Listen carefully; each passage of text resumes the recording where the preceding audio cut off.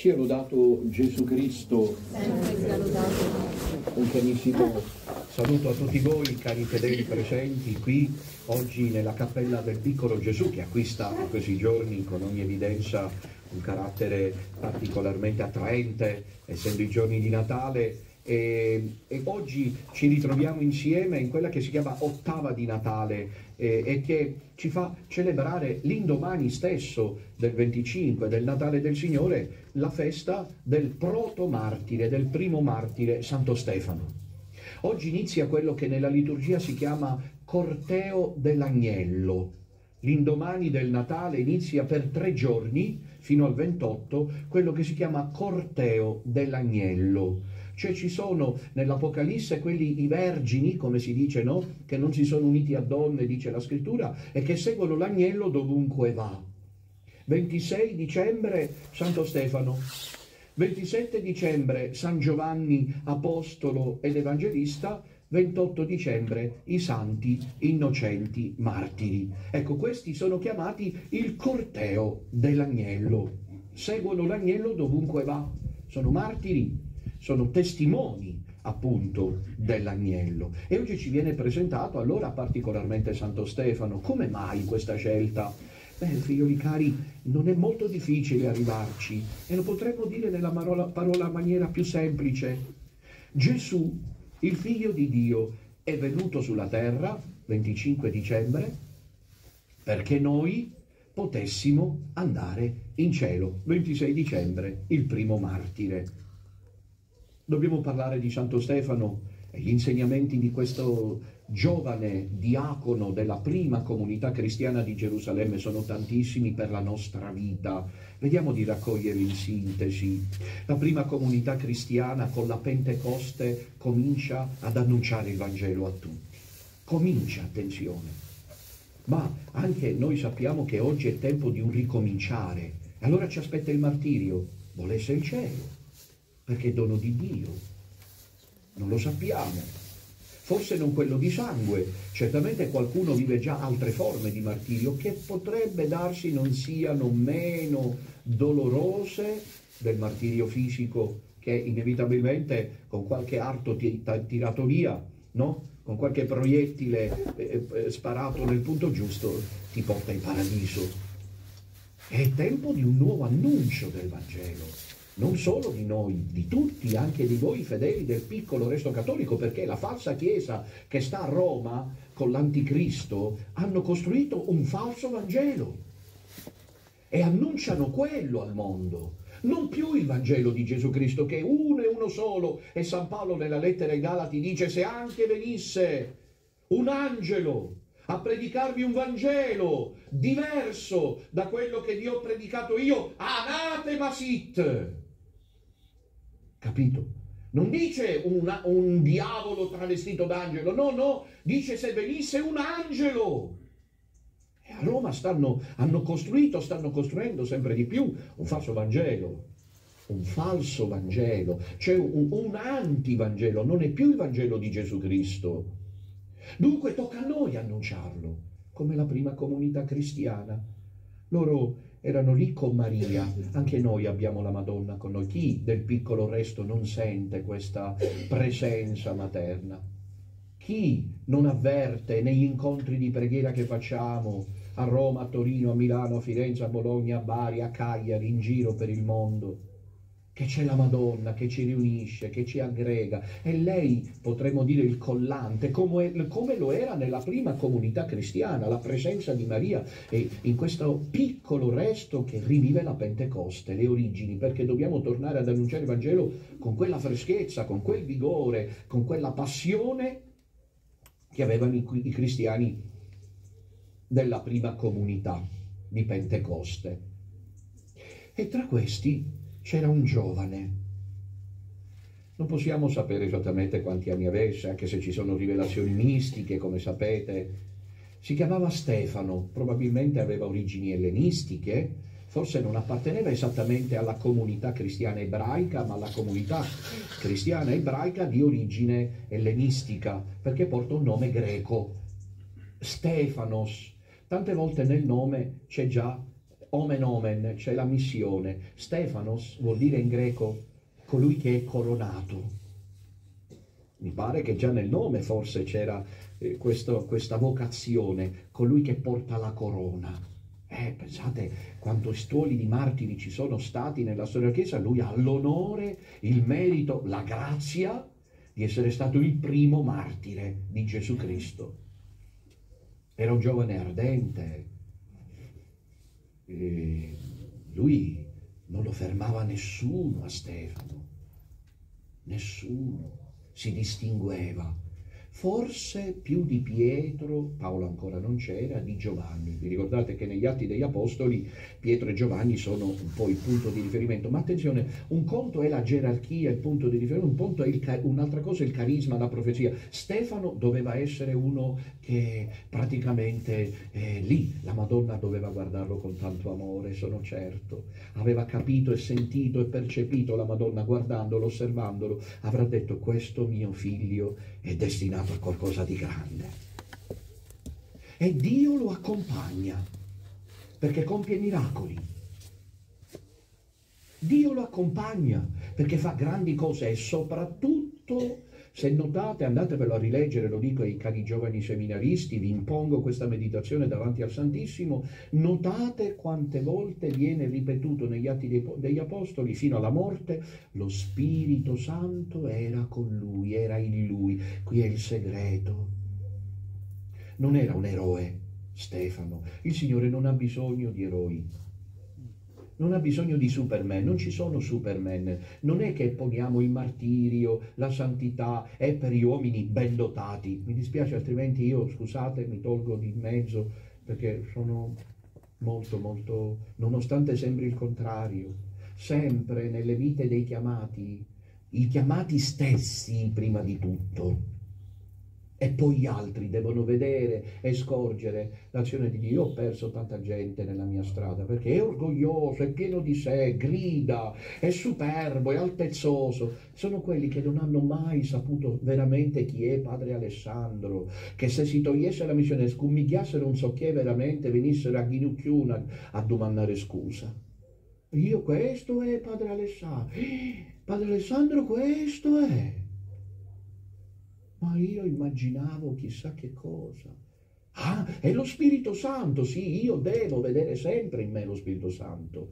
Tu, tu, tu, ognuno di noi, chi, chi è chiamato di fronte agli ostacoli che Satana pone, serpente, le studia tutte e lui non ha mai fretta, è il ragno che costruisce la ragnatela tu devi vedere in te l'azione dello Spirito Santo. Stefano la vedeva, è come la Madonna, è la prima, l'anima mia magnifica il Signore, il mio spirito esulta in Dio, mio Salvatore. Vedere l'azione di Dio in noi ci salva. Perché noi poi sappiamo distinguere bene quella che è l'azione di Dio in noi, capito, dalle nostre miserie. Quella che è la potenza dello Spirito Santo in noi, dalle nostre fragilità, anzi Tante volte Dio si compiace di tenere i grandi chiamati eh, nella, potremmo dire, povertà della loro esistenza. Vi ricordate San Paolo? Un altro grande, eh? stiamo parlando di giganti. Cosa dice San Paolo? Cosa dice? Portiamo questo tesoro in vasi di creta. Sempre scorgere in noi come Santo Stefano prima ancora che gli altri, ognuno di noi, il chiamato, deve scorgere. Io lo vedo nella mia vita, domani sono 24 anni di messa, quanto ne hai visto? Credo pochi sacerdoti siano passati da dove sto passando io. Credo, potrei sbagliarmi, eh. Non ho questa presunzione, ma quante ne ho viste? Non sono uno che lascia indifferente. O odio di morte o amore viscerale fino alla fine. Non lascio indifferente. E io in passato speravo che invece andasse così, no, mi sono arreso, so che dovunque vado separo. Dove vado divido, anche in famiglia tante volte. Ma io scorgo questa presenza dello Spirito Santo in me oggi, che, che, mi preparo a festeggiare questa mia, perché lo festeggio, questa mia chiamata. Io vorrei dirvi già da oggi, ma ma Rosanna, 24 anni sono passati, 24, Anna, 24, ma io vi assicuro, ve lo, ve lo garantisco, mi sembra che sia un paio d'ore che io sono stato ordinato sacerdote. Sono felice, ho una risorsa dentro di me, un entusiasmo, una voglia. Certo, Orsola, ora, certo, capito, ora comincia a dire, eh, però ho 50 anni, eh, si sente, capito? Prima le scale le salivo, e ora però, ancora faccio, però comincia un po' di affanno, capito? Perché hai 50 anni, ma è lo spirito che rimane giovane, è il cuore che rimane vivo, sveglio, intraprendente, ardente, zelante, che non conosce confine. Ma perché? Perché sono io? No!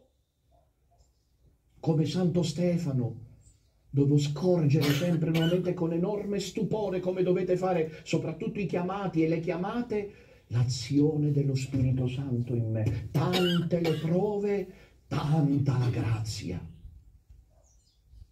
tante le croci, tanta la santità.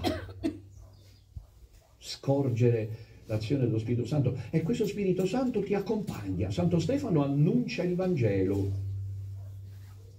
annuncia Gesù Cristo. E quando c'hai lo Spirito Santo non è l'annuncio tecnico, retorico, come tanti preti, inutili, come il sale che serve solo a essere gettato via. La gente si annoia, li ascolta e perdono la fede. Li ascolta e non ci vogliono più andare in chiesa, soprattutto gli adolescenti e i giovani con questi preti barbosi che non trasmettono niente, non ci vogliono andare.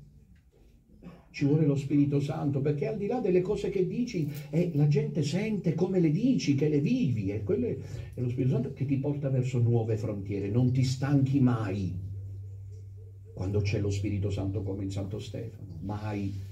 Questi sono i giorni in cui io sono qui a Piccola Nazareth, io dovrei preparare l'agenda pastorale eh, de, a partire da gennaio, ho già ricevuto degli inviti. E niente così, diciamo, facilmente, eh, come si dice, adempibili in Australia, poi in Argentina, poi eh, in Ruanda, roba di ieri mattina, Ruanda, ecco.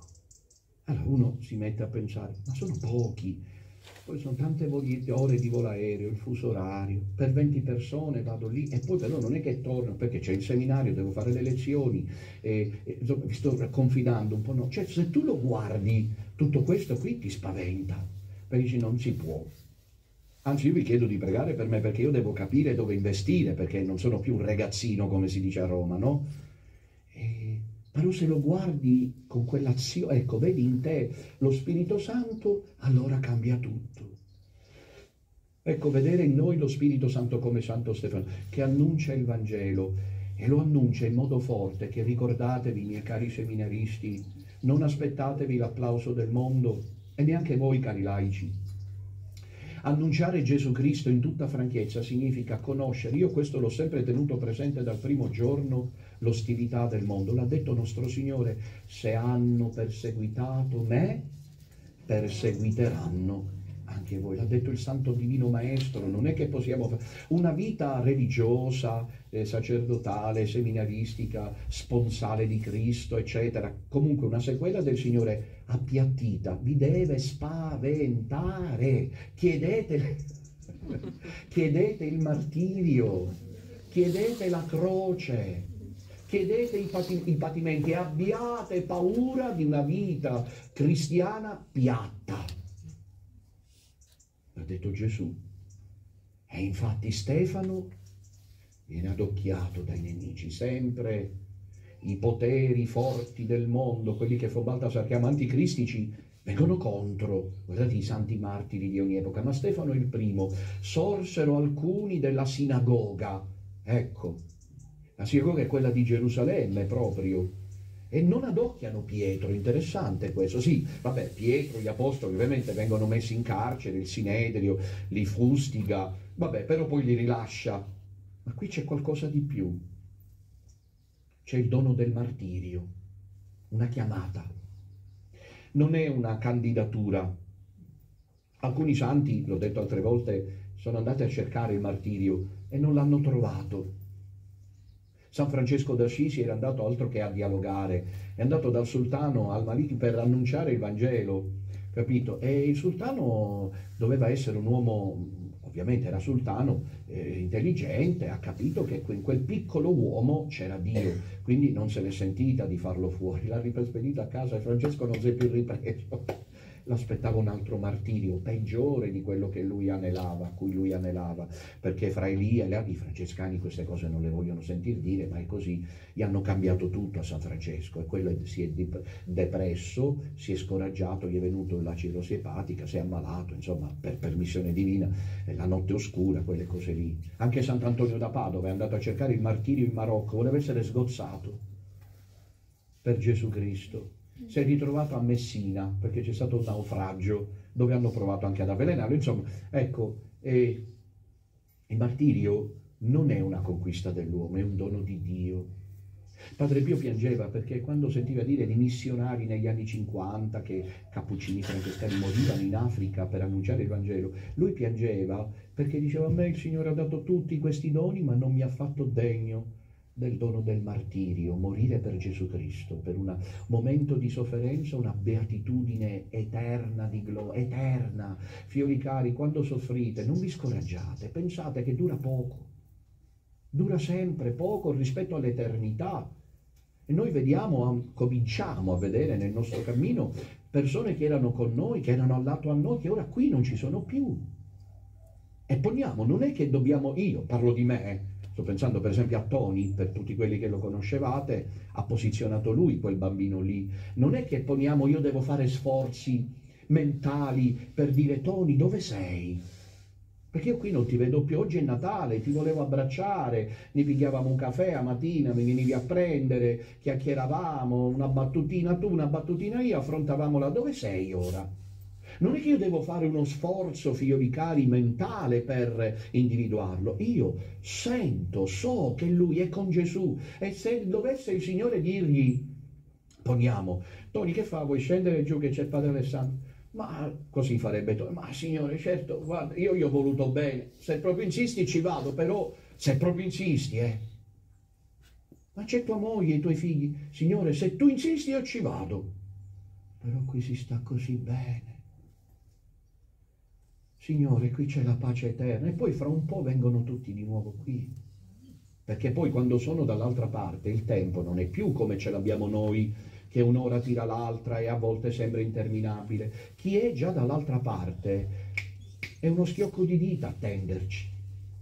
Allora immaginate quelli che sono chiamati da Dio al martirio, è un dono. Stefanos vuol dire corona, e lo Spirito Santo lo sostiene lo incoraggia, lo aiuta a non cedere, fino all'ultimo lo, lo accerchiano e Stefano che cosa fa? Annuncia Gesù Cristo, anzi, vede i cieli aperti e la gloria di Dio. È il figlio di Dio alla destra del Padre e lì lo, lo, lo considerano un bestemmiatore e lo lapidano, gli tirano le pietre addosso. E mentre Stefano riceve queste, questi sassi, oggi la liturgia al mattino nelle lodi parlava di dolci pietre, no, allora non esageriamo, eh. dolci pietre, come si fa a dire dolci pietre? Un, non è proprio dolce, proprio dolce non è, un conto se ti tirano un panettone già un conto è se tirano il panettone, ma se ti tirano la pietra, però quante pietre prendiamo anche noi nella vita? Quante? Allora, dolci pietre, perché quando tu le accetti con amore, ti unisci a Gesù, ti unisci a Gesù. E io vorrei dire quest'ultima cosa, poi Stefano si, si rimette nelle mani di Dio, dice, Signore, perdonali, rimetto la mia anima nelle, tua, nelle tue mani, perdonali. C'era eh, Paolo, allora anche questo è un insegnamento per noi, pregare per chi ci fa soffrire, mi raccomando. Pregare per i nostri nemici, ne abbiamo tanti, pregare per coloro che ci vogliono il male, che ci maledicono, che ci perseguitano, che ci odiano fino alla morte. Signore, perdonali perché non sanno quello che fanno. Chissà mai che questa preghiera a noi ci santifica, eh? perché la preghiera per i nemici ti libera da tutti i peccati, ricordalo Abbiamo contratto peccati noi, no? Giusto? E Gesù l'ha detto, se voi rimetterete i peccati ai vostri fratelli, il Padre vostro rimetterà i vostri. Ma se non perdonerete, neppure il Padre vostro che nei cieli perdonerà i vostri peccati. Attenzione a non portare odio, a non portare risentimento, a credine, o chiedere al Signore di perdonare. Nel nostro cuore non deve mai albergare l'odio, mai. Deve sempre albergare l'amore. Oggi eh, eh, nell'ufficio delle letture si parla di Santo Stefano che per amore affrontò tutto. Ecco, eh, quando hai l'amore di Dio, lo Spirito Santo, perché l'amore è lo Spirito Santo, Santo Stefano è stato ricolmo di Spirito Santo. E lui, e concludo, realizza quest'opera in noi, tutta intera. Noi dobbiamo solo dire di sì, dobbiamo solo abbandonarci in questo pugno di giorni che abbiamo sulla terra a compiere la volontà del Signore. E, ho concluso, gli occhi sempre rivolti al Signore. E allora vinci. Quante insidie ci sono nella vita cristiana. Soprattutto se uno veramente in cuor proprio diavolo ti comincia a guardare e dice guarda quello lì, questo era di mondo, ora si dice i tre rosari. Forza Asmodeo, forza Belzebul, forza, andatelo ad attaccare a questo qui, fatelo cadere. Quante insidie si presentano. È stupido, è superficiale chi pensa di prendere la corona in mano e tutto va bene. E al contrario, si intensificheranno le prove perché gli amici di Dio nel crogiolo del dolore, che non significa vivere col muso eh, abbassato, significa stare nella gioia. E infatti chi tra di noi non, o perde la gioia o non ce l'ha, è inutile che trova mille pretesti, anche caratteriali, non c'entra proprio niente. Si vede in volto quando c'è Gesù nel tuo cuore e si vede in volto quando per un motivo o per un altro lo perdi. Non c'è niente da fare, si vede. Chi ha Gesù nel cuore, anche se soffre, gli occhi ce li ha pieni di luce, il viso sereno, perché la pace si irradia dal cuore anche se soffri in tutta la persona. Capito? Se invece non hai Gesù, perdi Gesù, i tuoi occhi non sono più puntati su Gesù, allora si vede subito, la tristezza ti raggiunge, il demone della tristezza in volto, il volto triste, eh, gli occhi spenti, e così via dicendo. Ci sono tra di noi anime che vivono così continuamente e non c'è niente da fare, Dio poi le ama e le lascia, questo è tremendo, eh. non c'è differenza, velo in testa, berretta, eh, zucchietto, niente, non c'è differenza, madri, padri, se il Signore vede che eh, prova a insistere con te e tu sei sempre lì che ti piangi addosso, che non fai niente per migliorare, attenzione che il Signore ti lascia dove sei, non che non ti ama più, ma non può insistere, non può modellare, perché appena mette le dita tu dici ai ai ai. Allora il Signore dice, beh, allora continua, goditi la vita, poi in purgatorio se ne parla. Sapete la storia, perché noi questo anche i santi ce lo insegnano, le, le prove sulla terra quelle che non cerchiamo e quelle che vengono, diciamo, le malattie, le persecuzioni, l'odio, la, eh, le sofferenze in generale, eh, e ci sono anime che si spengono anziché aumentare la preghiera. Invece lì è il tempo in cui devi pregare di più davanti al tabernacolo. Quante grazie si vengono dispensate da Gesù alle anime eucaristiche, sono le anime che vivono il paradiso già sulla terra. Perché è un colloquio intimo, l'ha promesso lui. È un'intimità eucaristica splendida, straordinaria. Sempre dobbiamo cercare Gesù, sempre dobbiamo bisog- avere bisogno di Gesù, sempre stare con Gesù. Come Santo Stefano, gli occhi, la mente, il cuore pieni di Gesù, se no non ce la si fa. E noi così allora evitiamo anche, se accettiamo le prove, viviamo il purgatorio sulla terra che ha due cose interessanti. Eh? Il primo, la prima cosa interessante è che le pene del purgatorio in terra sono di gran lunga inferiori come sofferenza alle pene purgatoriali dopo la morte, non c'è paragone. E io vi cito un esempio fra i tanti che potrei citarvi ed è quello di Madre Speranza. Madre Speranza era una mistica che viveva a Colle Valenza, come sapete. Lei, eh, fondato quel, quel, santuario di Gesù, nella Divina, di Gesù Misericordioso, e, e era amica di un vescovo, era devota di un vescovo spagnolo. Questo vescovo muore e lei lo vede in purgatorio e aveva saputo che era morto. Era morto due giorni prima, tre giorni prima, adesso non mi ricordo esattamente. Allora lui, lei lo vede e dice, eccellenza, ma siete voi? Sì, con una sofferenza immensa lui. Sì, sono io. Ma siete in purgatorio? Sì, è da 80 anni mi pare che gli ha detto che sono in purgatorio. Ma eccellenza, ma siete voi? Sì. Ma voi siete morto tre giorni fa? Sì, ma è da 80 anni. Per dire che le prove che si passano in purgatorio sono, fiori cari, tremende perché ti devono purificare dall'amor proprio, non hai voluto seguire il cammino. Guarda, Padre Alessandro te lo diceva, le sorelle te lo dicevano, i fratelli te lo dicevano, la comunità te lo diceva e niente, io devo essere così perché avevo ragione io. Ah sì? E poi da sopra si ne parla perché cambia tutto adeguarsi al disegno di Dio è fondamentale. E c'è un'ultima cosa che il purgatorio ci garantisce, ed è quella che sto per dirvi, che, che, le sofferenze sulla terra ci garantiscono rispetto al purgatorio, che mentre le pene in purgatorio non hanno merito, cioè tu soffri solo per andare in paradiso, ma non acquisti, sapete che c'è un grado di gloria che ognuno ha. Invece le sofferenze sulla terra, fino anche all'ultimo istante, accettate con amore, ti fanno crescere eh, nella, nella, grado di gloria. Natuzza diceva che tante anime, che tante anime, eh, tante, alcune anime vanno, non passano dal purgatorio, pur avendo una, non avendo avuto una vita enormemente santa, e vanno al prato verde, che è l'anticamera, diciamo così, del paradiso, dove non vedono ancora Dio, a volte stando anche a lungo lì, però sono in una condizione di beatitudine previa, non è più la pena del purgatorio. Sapete cosa dice Natuzza? Perché quando hanno capito che stavano morendo, non si sono ribellati questo vale soprattutto per le persone che hanno ancora da vivere a lungo, che non se l'aspettavano per dire no, anziché ribellarsi, disperarsi e bestemmiare, si sono piano piano, con la grazia di Dio, perché è la grazia di Dio che opera tutto in noi, rassegnati al volere divino. E questo abbandono alla volontà di Dio gli ha permesso di fare il purgatorio in poco tempo,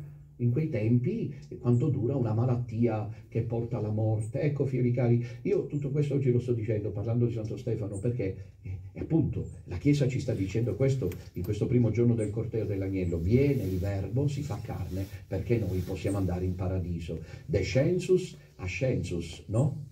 Ecco, allora miei cari, ecco questo teniamo sempre in noi presente quello che lo Spirito Santo fa, non quello che noi dobbiamo fare, ma quello che il Signore fa in noi e i nostri occhi, il nostro cuore, la nostra mente siano sempre rivolti al Signore. Laudetur Gesù Christus.